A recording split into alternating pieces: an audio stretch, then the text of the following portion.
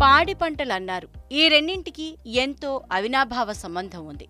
పూర్వం ఎద్దులతో అరక దున్ని పొలంలో నాట్లు వేసేవారు. నాట్లు వేసిన నాటి నుంచి పంట రైతు ఇంటికి చేరే వరకు ఎడ్లు రైతుతో కలిసి వ్యవసాయం చేసేవి.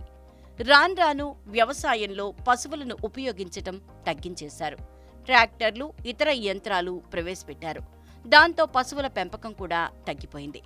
పూర్వం ప్రతి రైతు ఇంట్లో పశువులు కూడా ఉండేవి.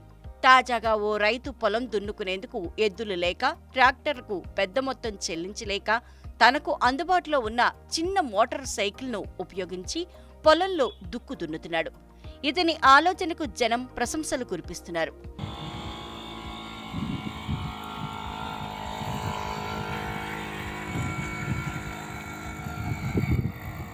ఎద్దుల కొరతతో సన్న చిన్నకారు రైతులకు కష్టాలు తప్పటం లేదు. దుక్కు దున్నాలంటే ట్రాక్టర్ల కోసం అధికంగా ఖర్చు చేయక తప్పటం లేదు. అరకపట్టి దుక్కు దున్నేందుకు ఎద్దులు లేకపోతే ఏ ఇంట్లో బండుంది కదా అంటూ ఓ రైతన్న సరికొత్త ఐడియాతో కొడుకు సాయంతో దుక్కు దున్ని సాలు పట్టి పంట సాగు చేసేందుకు సిద్ధమయ్యాడు.